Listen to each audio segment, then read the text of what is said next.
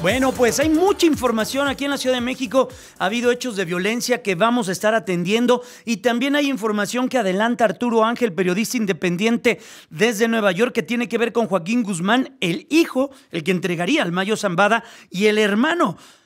Te saludo y te escucho, Arturo. ¿De qué se trata y ante qué estamos? Vimos cómo adelantaste esta información hace unos minutos. Muy buenas tardes.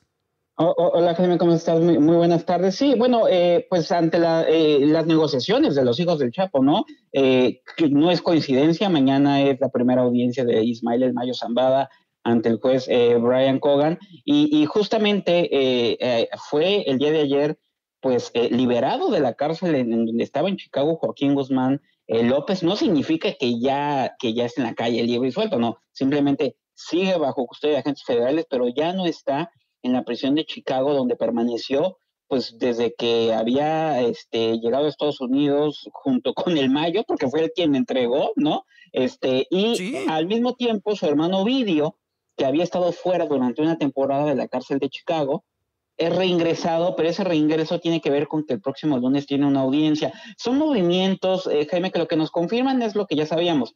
Hay una negociación, evidentemente, de los hijos de, de Joaquín El Chapo Guzmán con, los, con la Fiscalía de Estados Unidos, ¿no? Está la Fiscalía, evidentemente, administrando la ubicación de dónde están estas personas, eh, en vía de un potencial acuerdo de ambos de, culpabilidad, a cambio de apegarse al, programa de testigos colaboradores en un eventual juicio, por ejemplo, en contra de Ismael del Mayo Zambada. Aquí la pregunta es, si Ismael del Mayo Zambada también llegara el momento en que aceptara algún tipo de culpabilidad, bueno, para qué juicio o hacia qué personajes, siempre están todas las posibilidades ahí, se especula mucho, pero bueno, interesantes estos movimientos. ¿Y qué viene en ese sentido rápidamente, Arturo? ¿Qué debemos esperar de esto?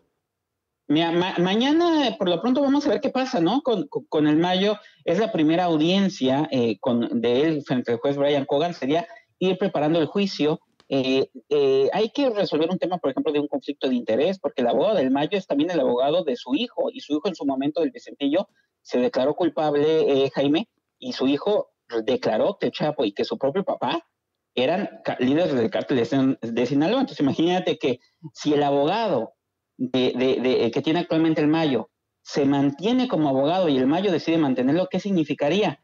Que entonces va por la misma estrategia de su hijo, porque no puede ser que al mismo tiempo el abogado representa que ya dijo que el, que el papá es narco y luego quiera defender al papá de que no es narco. Entonces, muy revelador mañana hacia dónde va la estrategia de, del Mayo Zambada y quién sería ese gran próximo objetivo de los Estados Unidos, hacia qué, eh, qué tipo de información, por ejemplo, podría estarse aportando, ¿no? ¿Qué va a pasar con los hijos del Chapo? En fin, muy, muy interesantes. Los siguientes meses que vienen, yo diría que de aquí a enero, va a haber mucho movimiento en estos casos. Pues Arturo, gracias por estos minutos y mañana regresaremos contigo para platicar de la parada siguiente, que es la del Mayo Zambada. Cuídate, fuerte abrazo, gracias. Fuerte abrazo. Es Arturo Ángel, periodista independiente desde Nueva York. Déjeme ir a la pausa porque hay mucha información, ya le decía, dos hechos de violencia en la Ciudad de México, de eso y más, cuando regresemos.